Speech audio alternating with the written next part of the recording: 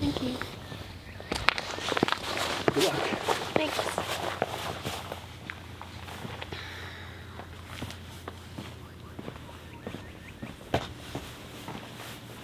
Hello. Um, I hope you're having a great day. So, you find me today on top of the pyramids in um, Girraween National Park, which is about three hours from Brisbane, where I live.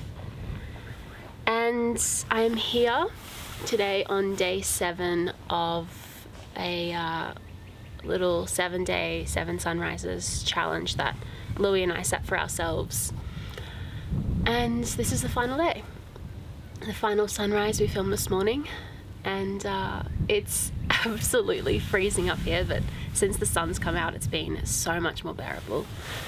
Um, but this video is going to be a little bit different, obviously, because I want to just do it in one take, unedited, um, and just talk about, I think, probably the reason I decided personally to undertake this challenge with Louie Um, and it's just been kind of the theme throughout the week.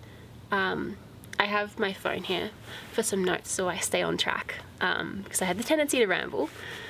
But yeah, I just want to kind of really just chat and talk um, about what I've been feeling. Um, and that is about stepping outside of my comfort zone.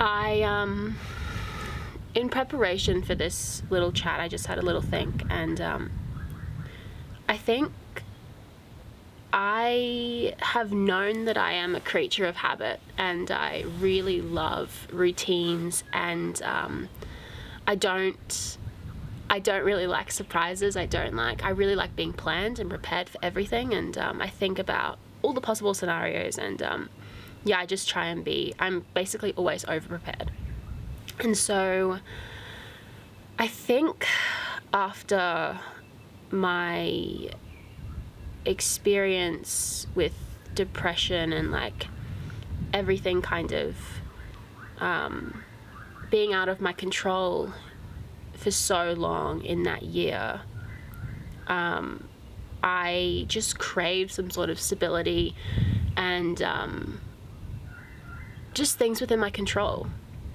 And so I worked really hard to establish consistent routines and practices and habits that could keep me grounded, keep me safe, um, and that I could always rely on. And I think that has been quite detrimental to me because obviously I was too out of control before, but now I think I've become too control, too controlled, too complacent, um, and just too comfortable. I like I have like the life that I live is it's very cushy. It's very comfortable. Um, and I've designed it to be that way because I don't like being uncomfortable. Um, you know I, I know the food that I love. I eat the same kind of breakfasts every day because I love them and they nourish me and I know they're good for me and um, you know, I like to go to the cafes that I know are healthy. I like to sleep in my bed. I go to bed at the same time. I wake up around the same time. I have a solid morning routine because I know it makes me feel great. And, you know, if I don't get that done, then I don't feel as good in the morning. And yeah, I just like, and I know I've kind of said this a couple of times, but like, there are big opportunities for change coming in my future. Um, obviously, with everything happening in the world, it's a little bit um, more up in the air at the moment, but they're still coming, and this change is up to me to make, and it's something that I'm really struggling with because I've created such a comfortable life for myself. So, when this opportunity came up to come out here and do seven days of seven sunrises, I immediately thought it would be really cool and I was very excited straight away. But then when it actually dawns on you that it's coming or that you're doing it, like I got I got a bit freaked out. Um, I have only prior to this I've only camped um, on like school camp, um, and we were in tents and stuff, but like it's not the same. It's not real camping. I know that. Um, and hiking, I I just don't love walking. I just it's not my preferred choice of exercise, so I'd much prefer to do something else. Um, and I just never had a real interest in hiking. Whenever I never did it that much as a kid, um, and so on the opposite end of the spectrum, Louie adores hiking. Um, he kind of always want, has wanted me to go out and you know hike more and stuff. Um, and he loves camping. He grew up with it. It was such a huge part of his childhood. Um, so he was a lot more experienced and a lot more comfortable with that side of things, the camping and the hiking. Um, but I less so. So I think that there was it was good and bad that I was coming into this um, so inexperienced because on one hand I didn't know much of the negatives um, that come with camping or come with hiking or would come with this um, challenge but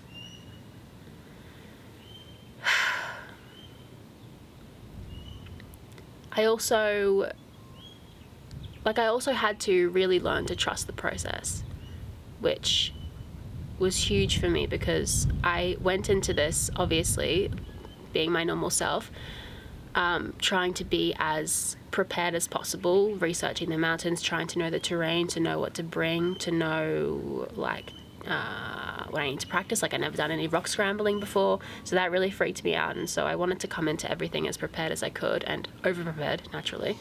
Um, but even still, there were so many things that just happened that we couldn't be prepared for, like the weather. Um,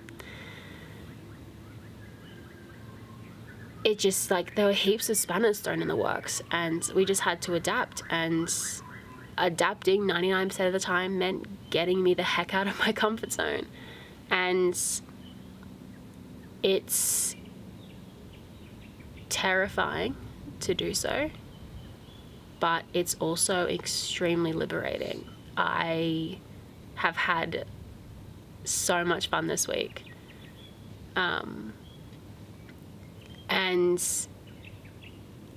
I'll share it, I'll share like um, the documentary that we're making, and um, I filmed a lot of behind the scenes stuff, and that they'll come in the next few weeks. I'm just gonna have to sit down and edit those. That'll take a bit.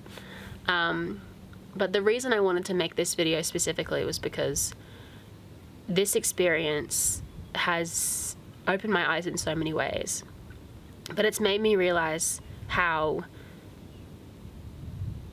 uncomfortably comfortable my normal life is and how that needs to change.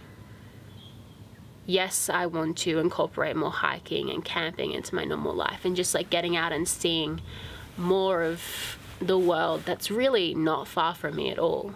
Um, but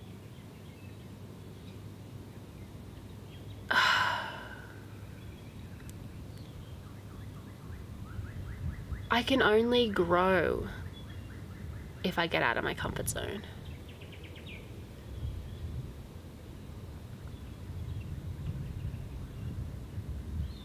Yeah, it's scary and likely to be very challenging at times, but it's only an opportunity for growth.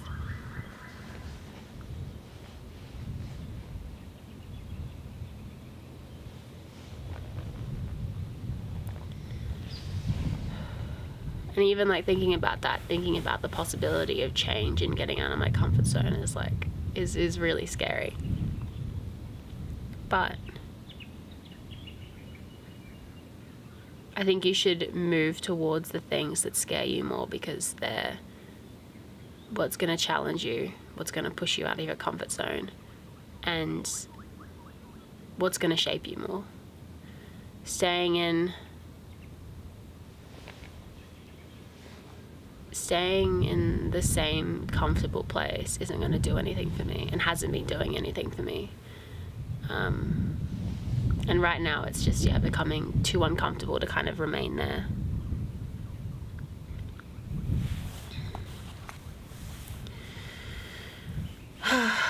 what else do I want to say?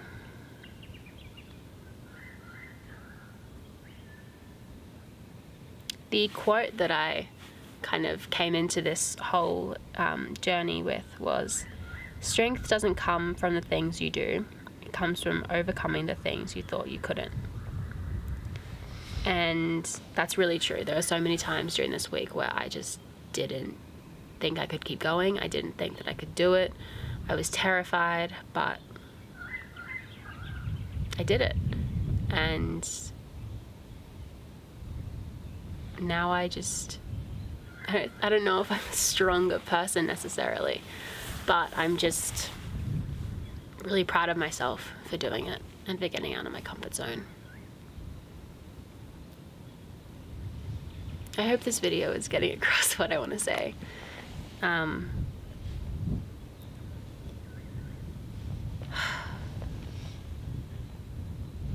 it's so nice and sunny out here. I don't know if I have much more to say on this. I know it's this, there's changes that I'm trying to kind of grapple with um, in so many aspects of my life aren't going to resolve themselves overnight. And I'm not going to have, you know, uh, I don't think I'm going to have a time where I just snap my fingers and the decision is made and I am totally all in um, and don't have any doubts. But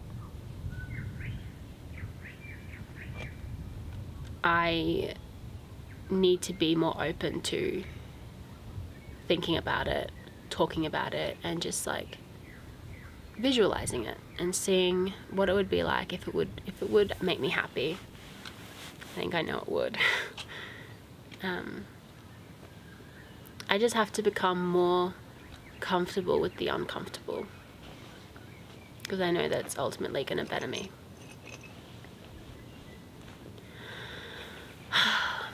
Anyway, I think we're to get a couple more shots up here. Head down, have some breakfast, pack up the tent and make the three hour drive home to Brisbane.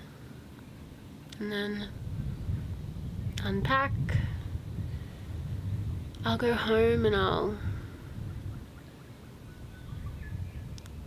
probably start looking through footage and transcoding and editing and um, maybe do a bit more thinking about what I have learned from this and what I want to come away from it with and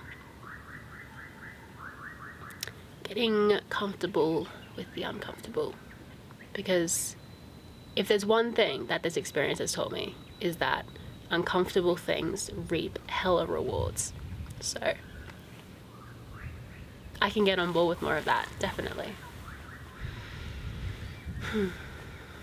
But yeah, I hope you have gained something from this video. I hope that it made sense and that it was coherent and that it had a path that it was following. Um, thank you so much for watching and sticking around with me in this video and uh, look forward to the documentary and the behind the scenes video that will be coming in the next few weeks as well as what I think are a couple of other really exciting videos to come.